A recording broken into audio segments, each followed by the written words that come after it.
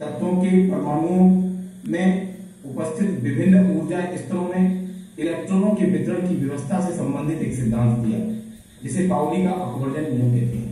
इस नियम के अनुसार पाउली ने बताया कि किसी परमाणु के किन्हीं दो इलेक्ट्रॉनों के लिए चारों क्वांटम संख्याओं के मान एक समान नहीं हो सकते। यदि किसी कारण से एन एल एम अर्थात मुख्य क्वांटम संख्या दिगंसी क्वांटम संख्या चुंबकीय क्वांटम संख्या के मान अगर समान है भी तो उनके चक्कर क्वांटम संख्या अर्थात एस के मान में अवश्य भिन्नता होगी। तो पावली ने क्या बताया कि किन्हीं किसी परमाणु के किन्हीं दो इलेक्ट्रॉनों के लिए चार क्वांटम संख्याओं के मान एक समान नहीं हो सकते। उन्होंने इस नियम के द्वारा कोषों, उपकोषों और कक्षकों में अधिकतम इलेक्ट्रॉनों की संख्या एवं वितरण की व्यवस्था को भी समझाया। पावली के अनुसार एक एग्ज़ाम्पल हम देख लेते हैं कि उन्होंने कहा किसी परमाणु में किन्हीं दो के लिए चारों परमाणु संख्याओं के मान एक समान नहीं हो सकते। देखिए जैसे अगर हम पहली कक्षा के एस उपकोष में दो इलेक्ट्रॉन पाए जाते हैं वन एस वन और वन एस टू उनके लिए क्रम से क्वांटम संख्याओं के मान ज्ञात करें तो क्या आएँगे? देखिए। वन एस वन के लिए। पहले हम करते हैं वन एस वन के लिए। यानी एस उपकोष के पहले इलेक्ट्रॉन के लिए और ये है एस उपकोष है पहली कक्षा का तो ये वन जो यहाँ आगे एस उपकोष के आगे लिखा हुआ है बी में लिखा हुआ है लिखा हुआ है, उसके आधार पर हम लिख देते हैं, इसके लिए मुख्य क्वांटम संख्या एम बराबर वन चूँकि एस उपकोष है तो एल बराबर ज़ीरो होगा। हम पिछले व्याख्यान में क्वांटम संख्या में सीख चुके हैं क्वांटम संख्याएँ कैसे है। और एन बराबर वन है तब भी एल बराबर ज़ीरो क्योंकि एल इक्वल टू ज़ीरो से लेकर एन माइनस वन तक ये सूत्र से दूसरी बात सीधा फॉर्मूला हमारा दिख रहा है कि एस पी डी एफ़ के आधार पर हम एल के मान लिख सकते हैं कि एस के लिए एल का मान सदैव ज़ीरो अब देखते हैं एम बराबर जब एल बराबर ज़ीरो है तो एम बराबर भी ज़ीरो होगा क्योंकि एक ही उपकोष है एस और उस उपकोष में केवल एक ही कक्षक होता है जैसे पी उपकोष में तीन पी कक्षक होते हैं तो एम चूँकि क्वांटम संख्या के तीन मान। एस उपकोष में केवल एक कक्षक है, इसलिए केवल एम का एक मान जिसकी वैल्यू आई ज़ीरो जिसका परिमाण है ज़ीरो तो एस बराबर पहला इलेक्ट्रॉन है। इस इलेक्ट्रॉन को यदि हम आयताकार बॉक्स के अकॉर्डिंग भरे आयताकार बॉक्स में भरकर दिखाएँ तो ये अब डायरेक्शन वाला इलेक्ट्रॉन हुआ इसके लिए चुंबकीय क्वांटम संख्या m का मान तो ज़ीरो है, लेकिन तो चक्कर क्वांटम संख्या का मान हम प्लस हाफ़ लिखेंगे ठीक इसी प्रकार यदि हम वन एस टू के लिए करें, इसके लिए करें वन एस टू के लिए।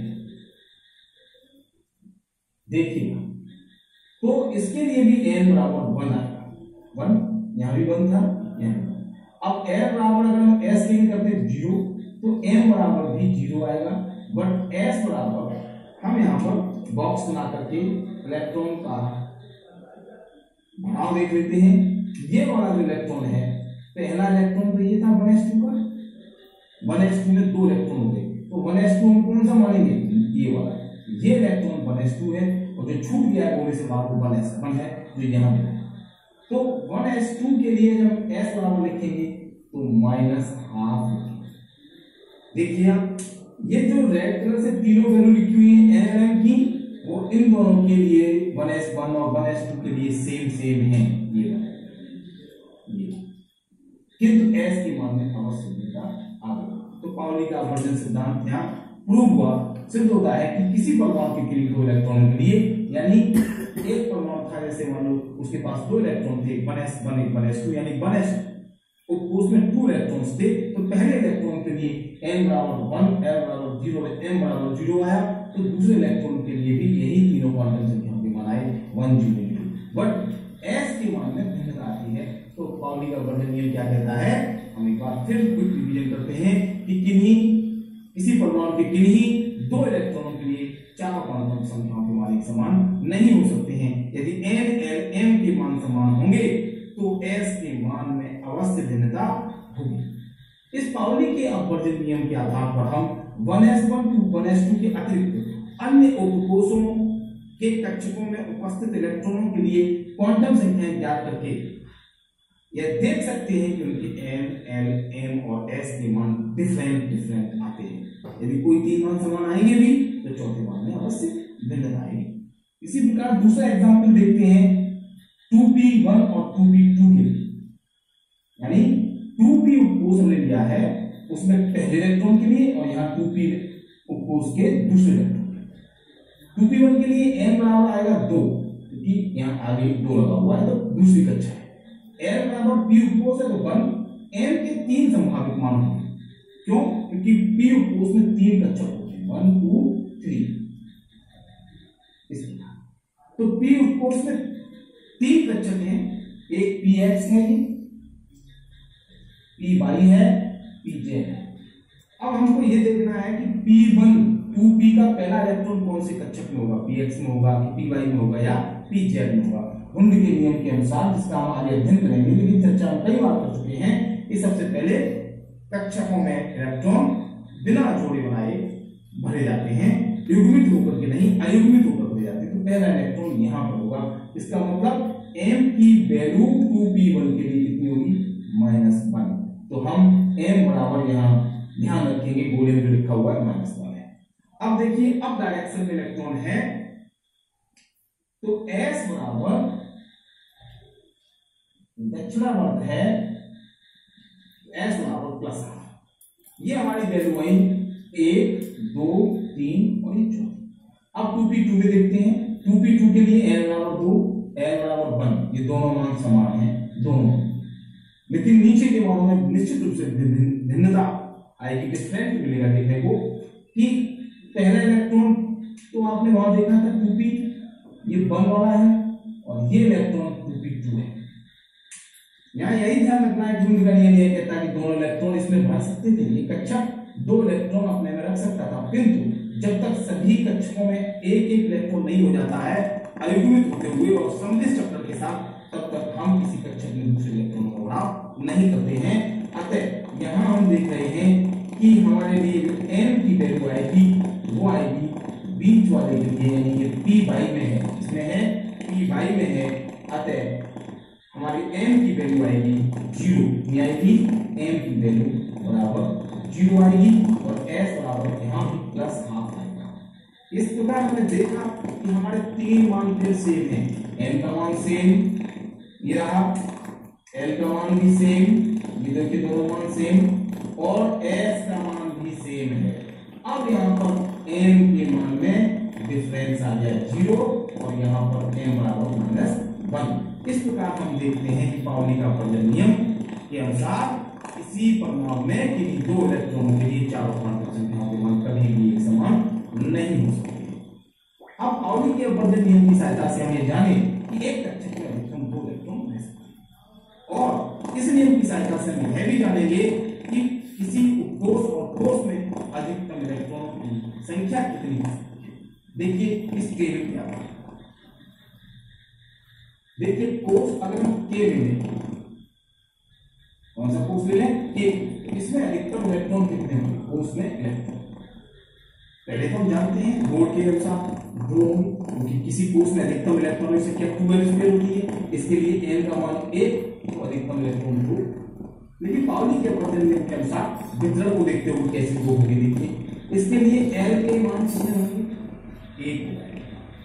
मतलब एक मान हुआ वैल्यू तो उसकी ज़ीरो लेकिन संख्या मान की एक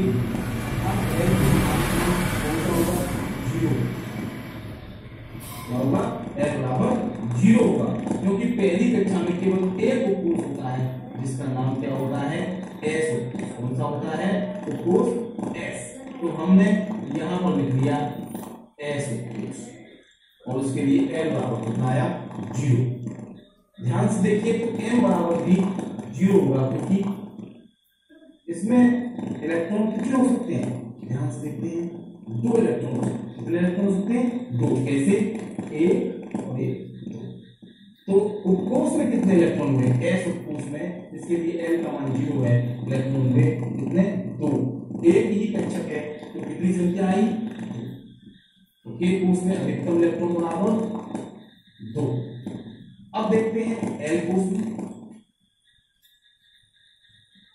एल कोष के लिए एल बराबर दो तो उपकोष कितने होंगे? दो ही उपकोष होंगे। एक उपकोष होगा एस और एक उपकोष होगा पी कौन कौन से होंगे एस भी होगा और पी भी होगा। तो एस के लिए एल की वैल्यू होगी ज़ीरो एल बराबर कितना होगा? ज़ीरो और इसके लिए पी के लिए एल बराबर कितना होगा? वन कितना होगा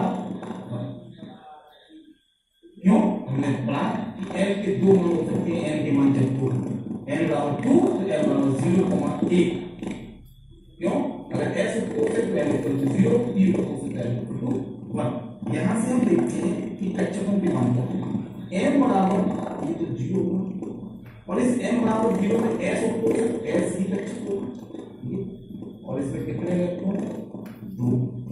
अब यहाँ पर देखिए आप पी फोर्स है तो एम के मान होंगे तीन क्यों होंगे तीन मान क्योंकि पी फोर्स में तीन कक्षक पहला इलेक्ट्रॉन दूसरा, तीसरा, चौथा, पांचवा, छठवा, छह इलेक्ट्रॉन भरे जा सकते हैं कक्षक में।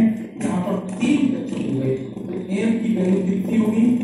एम की वैल्यू बराबर होगी, यहाँ से देखें हम माइनस वन ज़ीरो एम के तीन मान होंगे माइनस वन ज़ीरो और प्लस वन इस पी फोर्स में इलेक्ट्रॉन कितने हो गए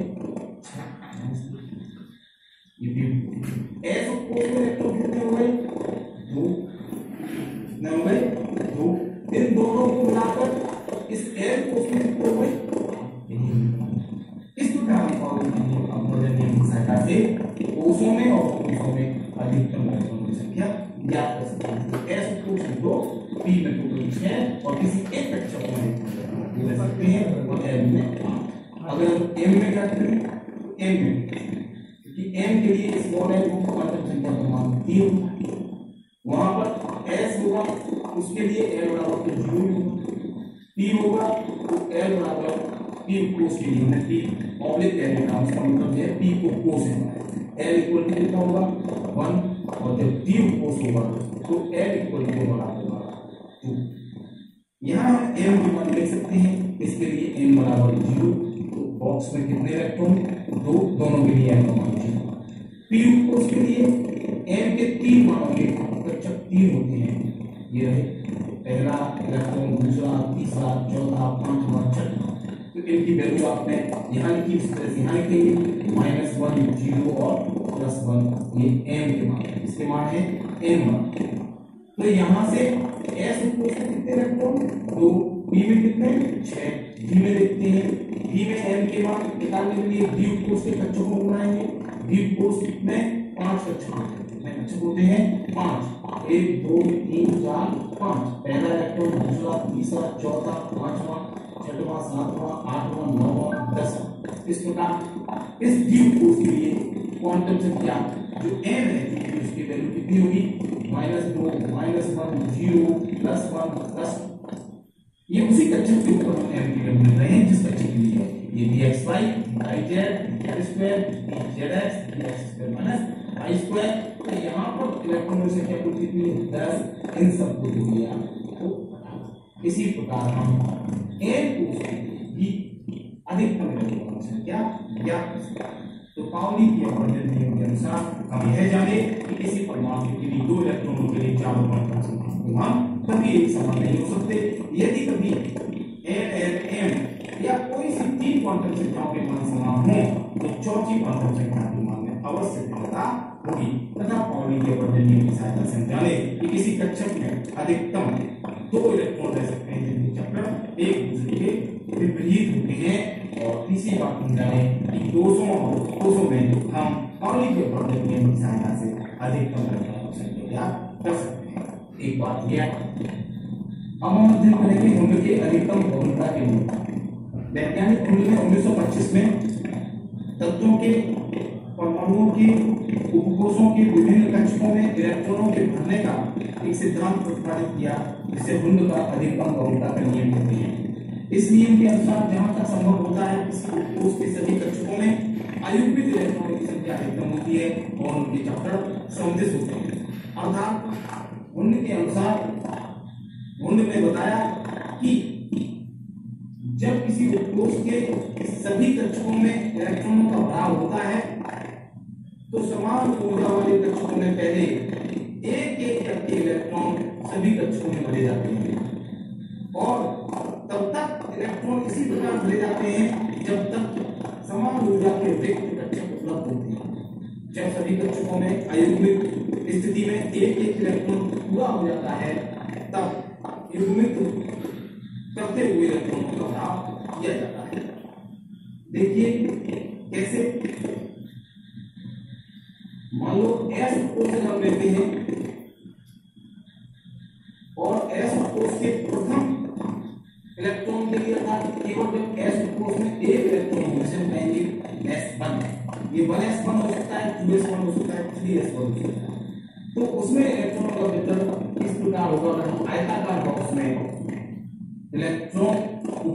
आयताकार बॉक्स को कक्षक मानते हुए इलेक्ट्रॉन उभरे तो एस कोष में केवल एक कक्षक होता है, उसमें एक इलेक्ट्रॉन इस प्रकार भरा जाए। जब दो इलेक्ट्रॉन एस कोष में हो तो इलेक्ट्रॉनों का भराव पहला इलेक्ट्रॉन और अब जोड़े बन जाएँगे इसी प्रकार पी कोष में देखेंगे तो अच्छे से समझ में आएगा कि जब पी कोष है तो पी कोष में पहले इलेक्ट्रॉन में हम पहले कक्षक में भरेंगे क्योंकि पी कोष में तीन कक्षक होते से पी एक्स पिछले टॉपिक्स में भी चर्चा कर चुके हैं पी एक्स पी होते हैं तो P X P Y P Z तीन कक्षक होते हैं, उनमें से जब एक ही इलेक्ट्रॉन पी कोष में है तो सबसे पहले पी में एक इलेक्ट्रॉन भरा जाए जब दो इलेक्ट्रॉन होंगे तो यहीं पर इलेक्ट्रॉन खाली है जगह, इसमें दो इलेक्ट्रॉन रह सकते हैं। एक दूसरा इलेक्ट्रॉन यहाँ भरा जा सकता है किंतु नहीं है।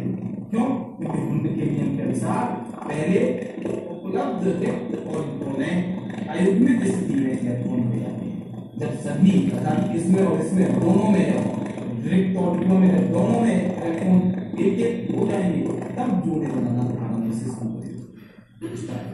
तो इसका मतलब दूसरा इलेक्ट्रॉन और जब तीन इलेक्ट्रॉन होंगे तो पहला इलेक्ट्रॉन दूसरा इलेक्ट्रॉन और तीसरा इलेक्ट्रॉन और जब चार इलेक्ट्रॉन हो जाएँगे तो अब युग्मन आरंभ होगा। यानी अब युग्मन आरंभ हो जाएगा यहाँ से जोड़े बनना स्टार्ट हो जाएँगे कैसे पहला इलेक्ट्रॉन दूसरा, तीसरा बनेंगे उसी तरह से, और चौथा इलेक्ट्रॉन बनेगा यहाँ हमारे जोड़े बन गए और ये हमारा कक्षक पूरा अब पाँच इलेक्ट्रॉन के होने पर पहला, दूसरा, तीसरा उसी प्रकार चौथा, और जब छह इलेक्ट्रॉन होंगे, तब हम इसी प्रकार पहला, दूसरा, तीसरा, चौथा इस प्रकार जैसे हमने एक एक करके इलेक्ट्रॉनों को कक्षकों में भरा है इसी प्रकार से इलेक्ट्रॉन कक्षकों में भरे जाते हैं बात हमने बताई कुंड ने जो बातें बताई कुंड के नियम के अनुसार दो बातें और निकल आती हैं कि इलेक्ट्रॉन पहले प्रयास करते हैं कि हम अयुग्मित होकर के सभी कक्षकों में एक इलेक्ट्रॉन हो जाए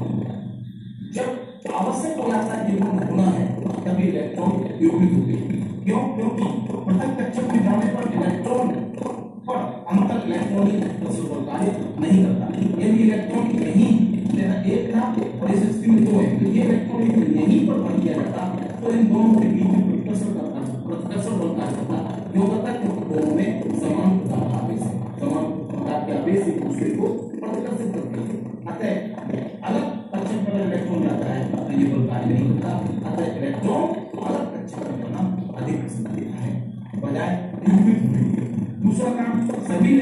एक ही दिशा में। इसका एग्ज़ाम्पल लेने आप तीन नंबर इलेक्ट्रॉन इसमें तीन इलेक्ट्रॉन है तीन चक्कर समान है।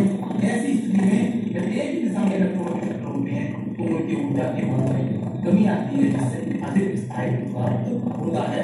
अर्थात जब समान चक्कर के इलेक्ट्रॉन होते हैं तो उनकी ऊर्जा में कमी रहती है और उनका स्थायित्व तो अधिक रहता है।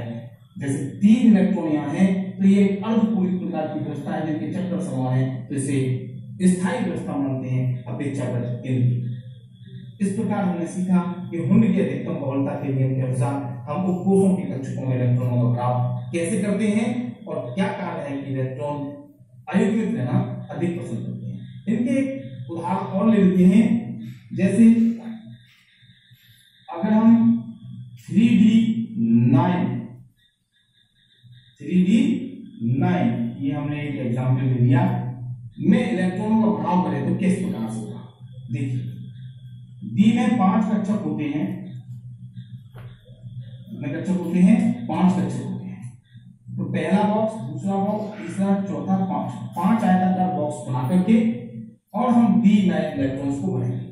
तो डी नाइन है तो आप यहाँ पर ध्यान रखिए कि सभी कक्षकों में, यानी इस पूरे नियम की सहायता से अगर कोई कहे कि थ्री डी नाइन में, थ्री डी नाइन के कक्षकों में इलेक्ट्रॉनों का बढ़ाव कीजिए। तो आप कैसे करेंगे? वह प्रश्न का की प्रश्न आंसर कर रहे हैं कि थ्री डी नाइन के लिए। एक इलेक्ट्रॉन, दूसरा, तीसरा, चौथा, पांचवा, ये छठवा, सातवां, आठवां और नौ इस प्रकार हम थ्री डी नाइन में इलेक्ट्रॉनों का बढ़ाव कर सकते हैं। यानी थ्री डी कोष के नौ इलेक्ट्रॉनों का बढ़ाव कक्षकों में इस प्रकार कर सकते हैं। तो इस प्रकार के अगर प्रश्न आएँगे तो आप आंसर दे सकते हैं। उनके नियम की सहायता से हम कौन कौन से और प्रश्नों को हल कर सकते हैं, अर्थात हुंड के नियम के क्या अनुप्रयोग हैं, आइए अध्ययन करते हैं। हुंड के नियम की सहायता से हम उपकोष और उनके कक्षकों के स्थायित्व की जानकारी प्राप्त कर सकते हैं। कैसे कि जो पूर्ण पूरित कक्षक होते हैं, वे अर्धपूरित कक्षकों की अपेक्षा अधिक स्थायी होते हैं और अर्धपूरित कक्षक अपूर्ण कक्षकों की अपेक्षा अधिक स्थायी होते हैं। कैसे जैसे हम देखें two B three two B six पूरित तो कौन सा होगा two B six two B six कक्षक two B three से अधिक स्थायी है और टू बी थ्री कक्षक टू बी टू या टू बी वन से अधिक स्थायी तो इसका भाव भी देख लेते हैं। टू बी सिक्स के लिए कैसे भाव किया जाता है? ये, इसके लिए देखेंगे तीन कच्चक बनाएँगे। ये, और इसके लिए देखेंगे तो भी तीन कच्चक बनाएँगे बढ़ाव कैसे किया जाएगा? देखते हैं। अगर टू पी सिक्स है तो पहला इलेक्ट्रॉन दूसरा इलेक्ट्रॉन तीसरा इलेक्ट्रॉन चौथा, पांचवा ये अच्छा इसमें सभी कक्षक युग्मित होकर जोड़े बनाकर और सभी कक्षक पूर्ण रूप से भरे हुए हैं। अतः यह स्थायी व्यवस्था है। ये कक्षक अधिक स्थायी है। अब देखते हैं two B three two B three में इलेक्ट्रॉन, हमने आपको बताया कि पहले अयुग्मित होकर के सभी रिक्त ऑर्बिटलों में कक्षकों को भरा होता है, फिर जब सभी कक्षक पूर्व में एक एक इलेक्ट्रॉन हो जाता है तो उनका युग्मन आरंभ होता है। अभी युग्मन की आवश्यकता नहीं है। इन तीनों में अयुग्मित इलेक्ट्रॉन है तीन। तीन कक्षकों में तीन अयुग्मित इलेक्ट्रॉन है। ये अर्धपूर्ण व्यवस्था कहलाती है, क्योंकि हाफ़ फ़ील्ड है ये। तो ये व्यवस्था पूर्ण पूर्ण कक्षक की अपेक्षा थोड़ी कम स्थायी होती है, किंतु इसकी अपेक्षा अधिक स्थायी होती है। इसको करेंगे तो ये एक इलेक्ट्रॉन, ये दो इलेक्ट्रॉन। तो इस यहाँ पर हमें क्या जाना कि ये व्यवस्था थोड़ी सी अधिक स्थायी और ये बहुत स्थायी होती है। तो हम उपकोषों के स्थायित्व को व्यक्त कर सकते हैं हुंड के नियम की सहायता से उनके इलेक्ट्रॉनों के बढ़ाव के द्वारा अब आती है बात कि अयुग्मित इलेक्ट्रॉनों की संख्या क्या कर सकते किसी उपकोष में कितने अयुग्मित इलेक्ट्रॉन होंगे? यह बात हम हुंड के नियम की सहायता से क्या कर सकते हैं। कैसे? इनके लिए हम देखते हैं, कुछ एग्ज़ाम्पल से मिलते हैं। तो पहले मैं एग्ज़ाम्पल हम पहला ले लेते हैं, चलिए। Four F three. में अयुग्मित इलेक्ट्रॉन फोर एफ़ थ्री उपकोष में अयुग्मित इलेक्ट्रॉन अनपेयर इलेक्ट्रॉन ज्ञात करेंगे हम फोर एफ़ थ्री देखिए, इसके लिए क्या है? वुंड के नियम के अनुसार फोर एफ़ थ्री कक्षक में या फोर एफ़ थ्री उपकोष में हम कक्षकों कक्षकों में इलेक्ट्रॉनों का अभाव है तो एफ़ में सात कक्षक होते हैं, आपने पढ़ा है। पहला, दूसरा, तीसरा, चौथा, पांचवा, छठवा, सातवा। फोर एफ़ थ्री है, पहला इलेक्ट्रॉन दूसरा इलेक्ट्रॉन तीसरा ये चार खाली रहेंगे। यहाँ तीन के तीनों अयुग्मित इलेक्ट्रॉन है। तो हम लिखेंगे कि अयुग्मित इलेक्ट्रॉन बराबर तीन। यानी उनके नियम के अनुसार अगर हम इलेक्ट्रॉनों का भाव करें तो हम अयुग्मित इलेक्ट्रॉनों को गिन सकते हैं। दूसरा एक एग्ज़ाम्पल और ले लेते हैं। ये परीक्षा में भी पूछे जाते हैं प्रतियोगी परीक्षाओं में भी पूछे जाते हैं क्योंकि बोर्ड के परीक्षाओं में पूछे जाते हैं बहुविकल्पी प्रश्न के रूप में भी आते हैं। आप इनको अच्छे से आंसर दीजिएगा। अगर परीक्षा में आता है तो थ्री डी सेवन में अयुग्मित इलेक्ट्रॉन मालूम पूछे। तो कैसे याद करेंगे? इसके लिए भी थ्री डी सेवन के बॉक्स बना दीजिए। आप डी है, आपकी बात एफ़ नहीं है डी है। तो पाँच कक्षक होंगे कितने होंगे? पाँच। पाँचों कक्षकों में आप इलेक्ट्रॉनों का बढ़ाव करिए क्रम से। तो पहला इलेक्ट्रॉन, दूसरा, तीसरा, चौथा, पांचवा, छठवा और ये सात। हमने भर दिए सात इलेक्ट्रॉन अब अयुग्मित कितने हैं, उनको गोले बनाकर गिन लीजिए। एक अयुग्मित दो अयुग्मित तीन अयुग्मित तो अयुग्मित इलेक्ट्रॉन बराबर यानी अनपेयर इलेक्ट्रॉन बराबर थ्री। कितने आए थ्री। तो इस प्रकार हमने अयुग्मित इलेक्ट्रॉनों की संख्या ज्ञात की। परमाणु संरचना के आज के इस व्याख्यान में हमने हुंड के नियम और पावली के अपवर्जन नियम का अध्ययन किया। आशा है आपके ये दोनों सिद्धांत हुंड का नियम और पावली का अपवर्जन नियम अच्छे से समझ में आए होंगे। समुचित उदाहरणों के द्वारा आपको विभिन्न उपकोषों में इलेक्ट्रॉनों के बढ़ाव को समझाया गया। उसी के आधार पर कुछ गृह आपको दिया जा रहा है। इसे आप अपनी पर करेंगे। पहला प्रश्न है, निम्नलिखित उपकोषों में अयुग्मित इलेक्ट्रॉनों की संख्याएँ ज्ञात करें। ये आपको three B four four B six और टू बी थ्री इन्हें आप कर सकते हैं, इनके एग्जाम्पल्स आपको कराए गए हैं, आप करिए मुख्य क्वांटम संख्या एन बराबर तीन के लिए ऑडी के वर्जन नियम के चार्ट में बताया गया है एल और एन के संभावित मान लिखिए। क्वांटम संख्या के आधार पर भी कर सकते हैं पावली के वर्जन नियम के आधार पर भी हम इस प्रश्न को हल कर सकते हैं। इन दोनों प्रश्नों को हल करें और दीक्षा ऐप डाउनलोड करके इस अध्याय का अध्ययन करें। साथ ही माध्यमिक शिक्षा परिषद के यूट्यूब चैनल पर जाकर